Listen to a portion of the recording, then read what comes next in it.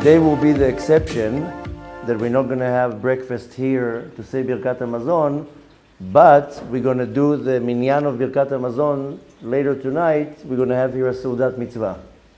So, very important for the ones who are not present or will not be here tonight, chas v'shalom, for whatever reason, I don't know why you want to miss such a thing, but is that we that you say you wash for bread and you say Birkat Hamazon. That's a very essential part in this 40 days. Is all the prayers that we're going to have to do. Of course, we have Shacharit Mincha and uh, Arvit.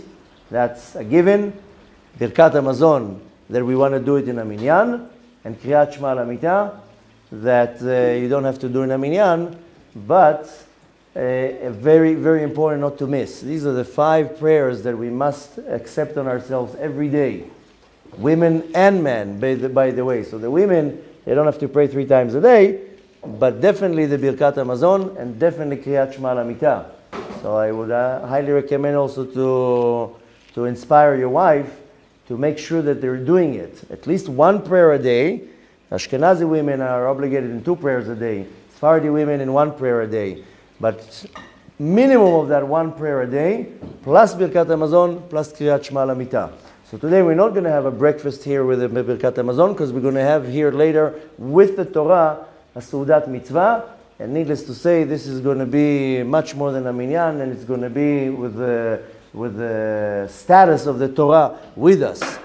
Tomorrow, right after Shacharit, of course, will be a Seudat Rosh Chodesh, and the next day, and from that point on, right after, we're going to have every day the Suda all together. And again, you have to constantly remember that the power here is the minyan. Even lehalacha, when you pray by yourself, you can be Rabbi Shimon Bar Yochai. Well, Rabbi Shimon Bar Yochai maybe is an exception, but you can be a great individual. You don't have the power of the minyan. Since we're now counteracting the damage of the minyan, then everything has to be done in a minyan. Very briefly, what we're going to need to focus on today. I spoke about it yesterday. I just want to now first have it recorded and also talk about it on the first day. Yesterday, I mentioned that the spies failed in three things. Uh, and, and, sorry, I was talking about Korach yesterday. Uh, for us, we're already in Parashat Chukat, diaspora in, in Parashat Korach, but nevertheless, the parashot start, if you remember, it started Behalotecha, that Miriam spoke Lashon Hara about Moshe. And right after that, if you remember the class that we gave, that I explained that the quarantine of Miriam finished today. So it was back to back the seven days quarantine of Miriam till the spies leaving. So for us is also another day of celebration because Miriam now finished her cleanliness. She, she finished her, her, her cleaning process. And right after that, the spies left. The spies, we already talked about what was the sin. I just want to repeat quickly that yesterday Korach and his party, his uh, Edah, his uh, parliament, they made a lot of sins, but major sins were three of them. Of course, the first one was the Lashon Hara and the lying that they did against Moshe Rabbeinu. So that's, again, the title of Lashon Hara. We're going to start also throughout the 40 days. The halacha that we're going to learn every day is only going to be Ilchot Lashon Hara. I mean, if we have more time and we want to learn about next other halachot, great. But the shiur, the class of halacha that we're going to have before mincha, will be ilchot lashon hara. So we all know the lashon hara law is perfect. So the main tikkun that we have to really start taking on ourselves is the lashon hara. Lashon hara is, is saying the truth, but that there's no really benefit of what I'm saying. Then, of course, there's slandering which is when I lie about somebody. There's hotza'at diba, when I'm coming and destroying somebody's reputation with no ground to it. There's regular gossiping. We're going to go through all the types of lashon hara, but the tikkun is what I'm doing, the damage that I'm doing with my mouth, and I add on that also the curses that comes out of our mouth or the false, false language. Many people have the words that comes out of their mouth. Hashem erachem, what comes out of their mouth and that has to be rectified. So the first and most important thing that we make as a list is anything that has to do with our mouth. You can't say Lashon Hara, you can't accept the Lashon Hara. Like I told you yesterday, and we're going to speak about it today, the fact that many people accept the Lashon Hara without even checking what, what's the background to the Lashon Hara. It's true, it's not true, it's correct, maybe it's some rumor, which in most cases it, it's rumors and lies. So the first and most important, the sin that we see that Korach did is not by chance that Korach and the spies are attached to each other. It's all the same idea, is the Lashon Hara. The next thing that they did, which the spies did, spies did also, and many others is the fact that they did a Chilul Hashem. When the spies came, then Hashem himself screamed out, Ad atzuni Till when this nation is going to provoke me, is going to mock me, He's going to step on my name. In yesterday's parasha in Korach, it also says the land opened its mouth, they all got swallowed into the ground. And why did this happen? Again they went against me. Again they mocked my name. Again there was a Chilul Hashem. And right after that it says that Moshe Rabbeinu vayipol al panav vayevk. He fell on his face and cried. We explained yesterday morning that he did tshuva. The falling on his face is what we call it a nefilat apayim. When we say tachanun, we go down. But when we do tshuva, I mean, each one has their customs. But when we say Hashem Hashem kel chachum we bow down. This is erech apayim, nefilat apayim. That's what Moshe did. Vayipol al panav. But more than that, panav comes from the word in Hebrew panim. Panim is the face, but pnim is the inside. When he fell on his face, he didn't fall physically on his face. He started looking inside himself by saying, maybe this guy is right. Korach. He didn't shoot him, he didn't punch him, he didn't punish him, he didn't indict him. He says, This is a messenger, like the same story with David HaMelech and Shimei ben Gera, that Shimei was pointing a finger at David HaMelech. David HaMelech says, Maybe he's right. Hashem told him to curse. Moshe Rabbeinu said the same thing. Look at the level of anava. Instead of fighting back, he looked inside. Vayipol al panav. He looked inside of him wait a minute, maybe this guy is a messenger and what he's saying is right. And he did tshuva. This is one explanation. The other explanation is that after Moshe Rabbeinu advocating for us so many times with the spies, with the golden calf, with the mitonenim when they were complaining about meat, and how many times Moshe stood to our side. This time he was like, I can't take it anymore. How am I going to come again to Hashem and, and try to stand by their side? So he fell on his face, crying, Ah, this time I can't. This time I give up. So we have to understand that another major sin that we're going to have to try to do a tikkun is the chilul Hashem. Now they go, both go together, by the way, because if I'm an observant individual wearing a beard and a yarmulke, and I go and gossip with you about somebody, there's a huge chilul Hashem there. Somebody came the other day here to this class not this particular one, but last week, he probably didn't notice. Somebody that doesn't really come often to the classes, he came. At the end of the class, when everybody left, he came to me and he told me, I came to apologize to you. Why? I heard horrible Lashon Hara about you, about me. And I said, okay. So he's like, I'm asking for your forgiveness. I said, I'm sorry to tell you, I don't even know who you are. I don't know who told you what you heard. I don't know what you heard. But you don't have to ask forgiveness for me. You have to have forgiveness from the Kadosh Baruch Hu. I can't forgive you. I don't even know what was said. I don't know who it was. Maybe it's right, maybe it's wrong. Maybe I want it to be heard. But you heard Lashon Hara? Your problem is with the master of the universe, not with me. I can tell you now 50 times that I forgive you. I don't forgive you. I don't even know what you did. How can I forgive you on something I don't know what you did? I have an idea for you. Why don't you take me to a Beit Din and then tell me what you did there? Bring the one who told you the Lashon Hara. I will hear it. The Dayanim, the judges will hear it. Then we'll decide if I will give you forgiveness or not. Till then, you have a problem, my young friend. And before that, the forgiveness has to go to the Kadosh Baruch Hu. You did Chilul Hashem. If you accepted Lashon Hara about a Jew, good Jew, bad Jew, holy Jew, not holy Jew, irrelevant. The holier, the worse. If you spoke bad about a good kosher Jew, God fearing Jew, not I want to talk about myself, But the halacha is that you talk lashon hara about a rabbi, about a, a person who teaches Torah and spreads Torah. Oh, the, the, the penalty is a thousand times worse. But don't come and ask for forgiveness for me. Start praying to the Kadosh Baruch Hu. Your problem is with the Kadosh Baruch Hu. And watch where you go, because the ground might open. so the Lashon Hara, when I talk Lashon Hara about somebody, so much more so if it's the land of Israel, which is the land of the Kadosh Baruch Hu, what the spies did. So much more so when it's a person that Hashem loves a lot. Oh, that's where you're crossing lines. You talk Lashon Hara about Haman,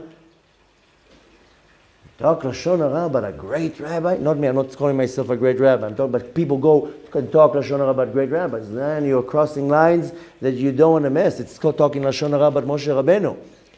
That's where, Moshe, where Hashem says, that's my servant. I appointed him. So when there's Lashon Hara, slandering, gossiping, there's a huge Chilul Hashem. Especially if you are the one who does that. So the next big thing that we need to focus on is how many times we desecrate the name of Hashem. And even if I don't do nothing, but do I do Kiddush Hashem? Do I do a sanctification of the name of Hashem? So not to do nothing, that's better than nothing. We have to be very careful from Chilul Hashem, but I also have to initiate Kiddush Hashem. So again, so Korach, when we want to look at the message of Korach, Lashon Hara, lying and slandering, and mocking and, and desecrating the name of Hashem. The third sin that he did, and this is where we're starting this journey, is that Korach did something very bad because really when you're thinking about it, what, what was Korach's problem? Korach was, it started and he was very upset that Elitzur, Uh, that Elitzapan ben Uziel was appointed to be the head of the tribe. And a little bit just that we understand what's going on there, the Shevet Levi, the son of Yaakov, had three boys. One of them was Kihat. The, the, boy, the son Kihat had four boys. The older of all was Amram. Amram was the father of Moshe, Aaron, and Miriam. The next son in line was Hitzar. He was the father of Korach. The next one, the third son, was called Hebron, and the fourth son was called Uziel. The son of Uziel, Elitzapan, who was the youngest of all, got appointed by the word of God to become the head of the tribe. Korach said, wait a minute. Amram is the Bechor, the, the first, then Moshe, his sons, and Aaron became king and a Kohen Gadol. So any type of position has to come to me. I'm the next one in line. Why is he getting it? That's how it all started. Then, of course, he had an evil wife. I told you yesterday uh, that Rabbeinu Bechaye says that, that Korach and Haman are on the same category. Both were the billionaires of the generation, both Korach and Haman, but both listened to their wife, which brought to their destruction. Yesterday, somebody took my words out of context by saying uh, that I, I meant that the wife is chas v'shalom a bad influence. I didn't say that. I just said in most cases the wife is the right influence. But in the case of Haman and Korach, then there is the same. Haman's wife was the one who instigated Haman. What? Mordechai is not bowing down to you? Build a tree and hang it on it. And in the end, he got hanged on it. Korach, same thing. His wife, he came home, his wife was uh, provoking. What did Moshe teach you? Oh, Moshe taught us that we have to wear tzitzit. Remember Parashat Ba'alotecha, Parashat uh, uh, Shlach ends with the parasha of tzitzit. So we said we learned about tzitzit. And we have to put one string of, of uh, tchelet, of light blue. So she told him, how about you provoke Moshe Rabbeinu and ask him if the entire talit is blue, if you still need tzitzit. And she went and made 251 talitot, one for Korach and 250 for all the 250 heads of the Sanhedrin, Sanhedrot of Shevet Reuven. And they were provoking Moshe Rabbeinu. Now, really what was going on, so Korach was uh, angry about the Elitzapan uh, being appointed. Then he was jealous of Moshe. Then he wanted to be a Kohen Gadol. But more than that, he had one big problem that, first of all, he was causing a machloket. there's a big question. How did he was able to gather 250 heads of Sanhedrot? How did he do such a thing? So he came and told them that Reuven, they were all from Shevet Reuven. And he told them, look, listen, Reuven is the firstborn. This is a Bechor. And Moshe Rabbeinu just canceled your power as a Bechor, as a firstborn. And what's the proof to that? He took the son of, uh, of Yosef, uh, the son of Yosef Ephraim, and from his tribe, he took himself a uh, helper, Yoshua. Yoshua comes from the tribe of Ephraim. Look what he did. He bypassed the Bechor and he canceled it. Same with me, same with his own brother, because Aaron is the Bechor, Aaron is older. He pushed his brother to the side, he took the control. Same thing with me, he appointed El Zapan, and same thing with you. He pushed your status. So he got them hyped up. This is causing a machloket. Our sages say the reason why he's called Korach, because he caused a karacha ba'am. You know what's a karacha? It's the opposite of a mohawk. Imagine a person has a lot of hair and you come with a machine and you go and you make a, a line. This is a karacha. He made a separation in the nation. There's a beautiful midrash that explains every person's name in this machloket, how the name is connected to what they did. But nevertheless, Korach made a separation. What's the result? The ground opened him. The worst of all. This is one thing we need to understand. The problem, if I'm, uh, uh, if I'm an individual that is responsible to making separation, this is one of the worst of all. But then he had another problem. He had Ruach HaKodesh to some extent. And he saw in his generations Shmuel Anavi coming out of his uh, lineage. Of course, the sons of Korach did Shuvah, and that's how he had some type of a continuation. But he saw Shmuel, Amel, Shmuel Anavi coming out of his lineage. The Talmud says that Shmuel Shakul ke Moshe Aaron, he was as strong as Shmuel and uh, Aaron and Moshe together.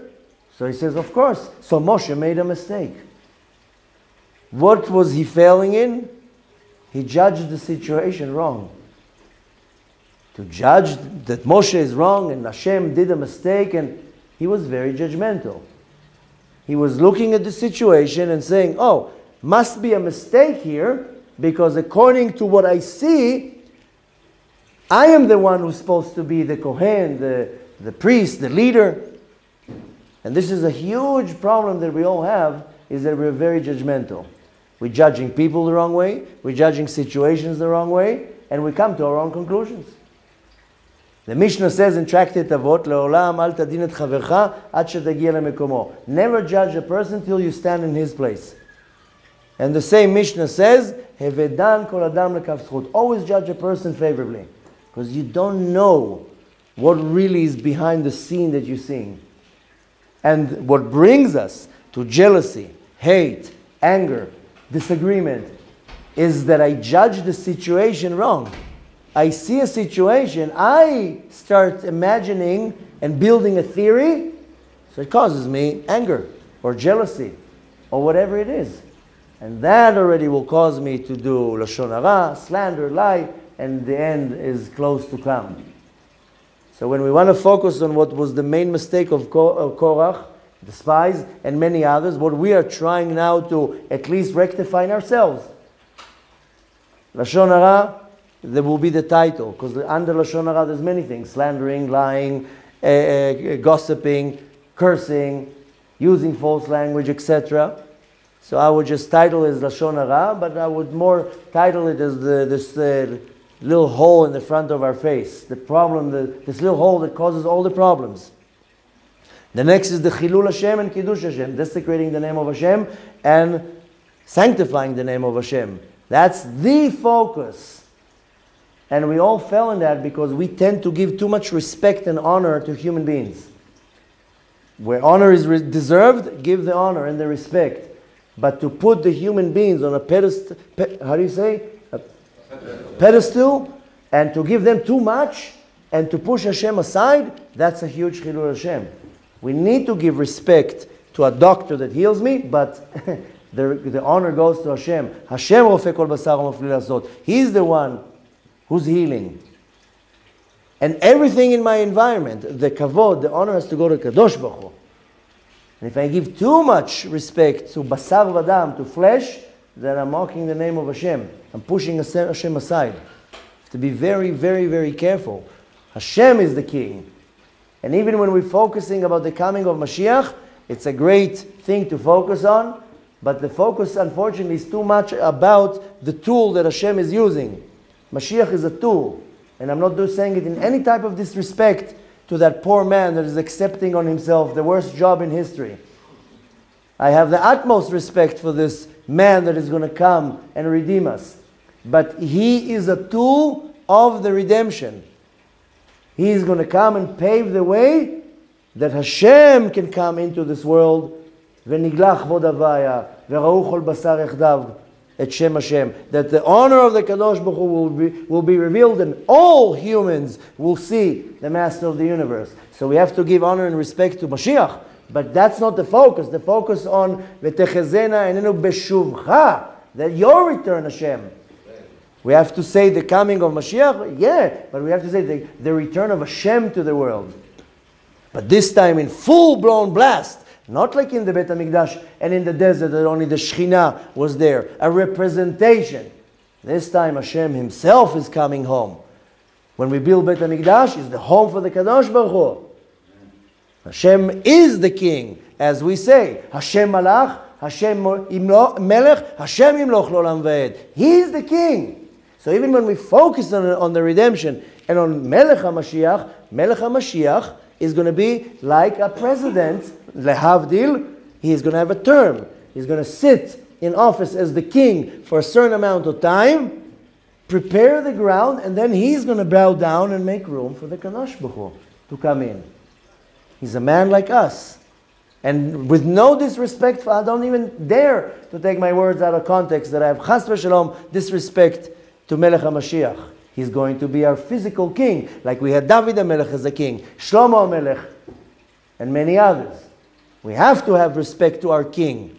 But at some point, he will move aside, and the only king will be the master of the universe.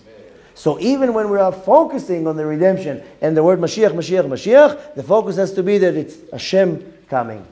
Everything is around Hashem. And the third, and not less important, because that's the main entrance of the problem. Yesterday I've explained that when you're looking at the word machloket in Hebrew, machloket is a disagreement. The letters hint to us what was going on. So picture in your mind the, the letter mem, the first letter of machloket. So it has like a little base and like a triangle, but it has a little, little opening on the ground. That's how everything starts, with just a little misunderstanding. A little word that was out of context. That's how it all starts. So the Mem is showing to us everything. All the machlokot, all the disagreements, it comes from something very, very small. Something says something in the wrong way. Or you just didn't hear one word in the sentence. Or you were very judgmental towards something very small. That will open the entire disagreement. So the next letter in the word machloket is a chet, which is a roof and two legs, but the, there's no bottom. The second that you go into the machloket, that's it, the ground opens. That's how it works. It starts small, but then it becomes big. And then the next letter is a lamed. Lamed goes above the line to indicate and to tell us that if you have a disagreement or an argument with somebody in your level, your future to go against the ones who are above you. Your rabbis, the leaders, and now you start mocking the leaders, the real leaders I'm talking about. Then the next letter is a kuf that has a leg, a long leg pointing down, telling you, you go into a machloket, you know what will be the end? Like Korach. You're going to go down. There's no way out from it. The ground opened, everybody was sucked in. Can you imagine the panic going on there? It says in the Torah. Most people don't even notice what it says. It says there was Panic. Everybody was running all over the place. Maybe the ground is going to open. They didn't know where to run. Just imagine the panic. And then the last letter is a taf. Taf is the last letter of all the alphabet, telling you that there's no end to a machloket. You go into it, it will take you to the bitter end. So, and all this starts, why? With that mem, with that little, little point of misunderstanding. I didn't hear it right. What did you say? What did he say about me? That's us being judgmental. Korach was judgmental. He judged the situation wrong. He came up with his theories without checking the background. That's the problem of mo- most of the problems with Lashon Hara. When you heard Lashon Hara lately about somebody, did you go and check the, the, the, the details are really true? Most people accept it. Either they're smart and they're like, I don't want to hear, or they listen and, oh, okay. Now, if you did not protest, or if you did not check the, the, the details, then you're accepting this Lashon Hara, and it will go to the back of your mind, to, to your subconscious. How many times somebody will come and say, You see that rabbi over there? You know what he does? We know what he did? You know what he says? Oh, really? I, I smelled something fishy with this guy. Now, you don't go and check the, the, the details, if it's true or not. Now, subconsciously, no, this rabbi is. Uh. That's how it starts. That's being judgmental. So we have to be very, very careful with how we look at a situation, how we judge it. First of all, we have to judge it favorably. Second of all, you don't judge anybody till you're in their, in their place. A lot of times we judge people because they failed. But what, I don't fail? I don't want to be judged favorably when I fail? Imagine now I'm part of a community and I fail with something big and everybody's looking at me. I would want people to have mercy on me. Forgive me, I failed. What's the big deal? We all fail. But when chas v'shalom it's somebody else, we rise above. Oh, he failed. Ooh, I would never fail, like as if I'm some tzaddik. So a very important tool, a very important information to take with us on this journey, not for 40 days, for the rest of our life, is how we judge situations. Don't be quick to judge. Take your time. Look at the situation. Be very, very parv, as they say. Don't be quick to come to conclusions. Check the background. Ask questions. Okay, I heard something about so and so. Let me check. You know, when people come and tell me things about so and so, okay, you told me. Let me go and do my own research. And if I have any questions, I will contact you. You threw something into the air. Let me check. Check the background. Don't be so quick to judge. And it can be in something as small between you and your wife. And it can be something big with some, somebody that can chas v'shalom cause a huge, huge argument and disagreement. And we, we have an obligation. We have an obligation to stop, think, ask, research, check, then you come to the conclusion. If you think it's something detrimental, if it's some junk lashon hara, your obligation is to stop it and say, no, no, I don't want to hear. I don't want to hear. It doesn't have to do any eh, with my safety? No, I don't want to hear. But if it's already like a shidduch, you're matching two people, somebody comes and says, listen, this guy, I don't know if it's so appropriate a business deal, big business deal. You come and buy a house. A lot of people have, a, is this Lashon Hara? I'm coming to buy a house. And somebody comes and says, listen, you know, the house is not so stable. I checked it before. Or oh, the guy's a crook. Is that Lashon Hara? No, we're going to learn all the halachot. But you have to check. You can't jump into a conclusion and to, it's called Lachriya et adin, that I decide what's the judgment. Can't do something like that because that is what will birth the disagreement, the arguments, the lashon hara, the slandering. And once it's out of control, it's like a wild horse. You get it out of the cage, or like these bulls in the in Texas, whatever they do when they do the rodeo, it goes completely wild all over. The, that's how it starts, like a wildfire. So this is the most important thing to go when we're starting on our journey is to understand wh- what do I have to do? And the most important thing, I said that yesterday, I'm just going to repeat. If I want to be successful in this 40 day journey, don't use the word 40. Because if you have in the back of your mind that after 40 days you're going back to the old you, then you missed the point. So you were good on, on a good behavior for 40 days. My son wants a bike, I told him, okay, I want to see that you're learning real good and participating in minyanim and all these things. So he's on his best behavior. What's going to happen when I give him the bike? On, that's it. You stop. You, you, to stop coming to minyanim and be on your best behavior. So it's the same thing. So forget the word 40. I'm now elevating myself to a different level. What's the level that I want to reach? I told you yesterday, you take a piece of paper and you write on the paper the best version of you.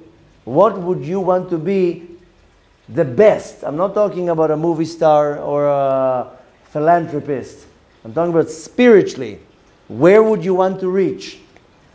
Learning three hours a day Torah, praying in minyanim, giving a lot of tzedakah, helping a lot of people, really working on my midot, whatever it is, you make a whole list of how the best version of yourself would be, and that's what you go for. You're saying that's, that's the version I want to be. Because we all have, we should have at least, spiritual goals. These are my weak points, I want to work on that. These are the bad midot that I have, I want to work on that. I want to work on my patience, on my tolerance, my anger, me being judgmental. I want to show up early to the minyan. Whatever it is, you make a list, and the list is called the best version of myself, the super me. Now that's where you go and aim. Because if you know have a goal where you want to reach, then you'll never reach it. And if you have in the back of your mind, okay, I'm going to be a good boy for 40 days. Okay, so you'll be a good boy for 40 days. Big deal. Now, what's going to happen after that? You go back to the same place, then you missed, you literally missed the point. Take the 40 days as the taking off. And the altitude that I want to reach will be in the end of the 40 days, and that's the altitude I'm going to glide on. That's the way of thinking. So you go home, you make yourself a very long list. I want to be nicer to my wife. I want to be more better educated to my kids. I'm going to be very patient with my kids. I'm going to be tolerant. I'm going to be very not judgmental towards this and this and that. I'm going to be, you know, Hashem, you'll see if you figure out what I'm trying to say. Hashem tested us this morning with a lot of patience. I'm not going to add even on that anything else, but I think everybody was placed today in the morning. How much patience do you have? They say, Hamavin Yavin. But we are all tested constantly with patience. Hashem is going to poke us with all sorts of things that annoy me. Some sound in the background that annoys me. Some somebody's moving my stuff on the whatever it is. We're all the, all the time tested. How am I going to go out of my place of calmness? Or something that will take me out. You know, in Hebrew it says, "Latzet me'akelim." I go out of my kli. When you're in your kli, you're relaxed, you're content, you're happy. When something is poking you like a little stone in your shoe, bothers you. That's where Hashem says, let's see how, how much I can push you without you losing your temper, without you losing your patience, without you being angry or judgmental towards somebody that is doing that.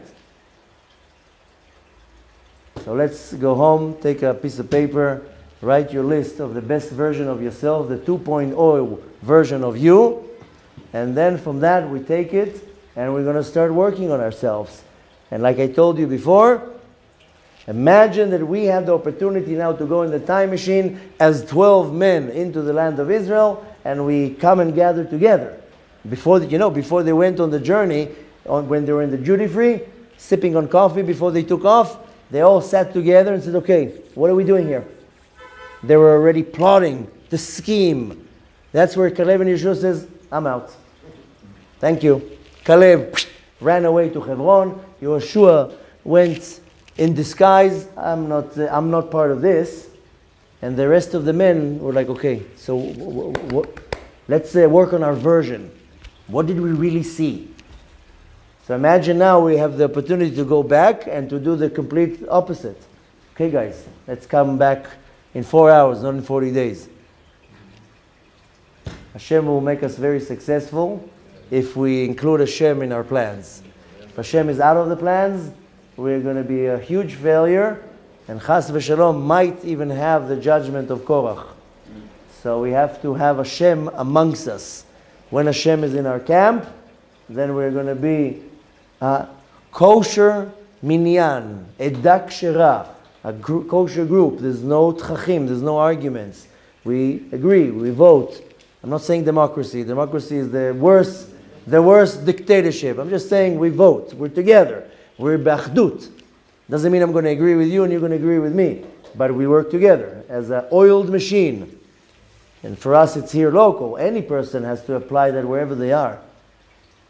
And together, when we are united, then we are gaining the merit to build again Bet HaMikdash.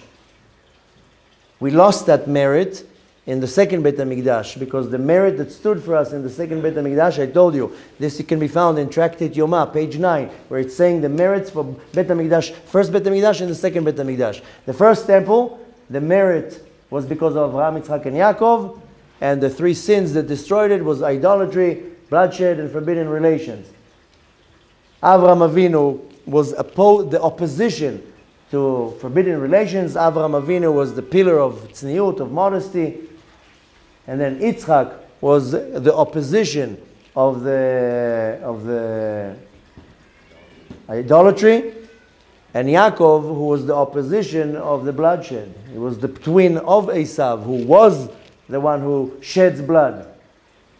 So that's why we had the, the, the merit to build Bet HaMikdash HaRishon. But the second that we destroyed these three departments, then the merit left and the Bet HaMikdash was destroyed.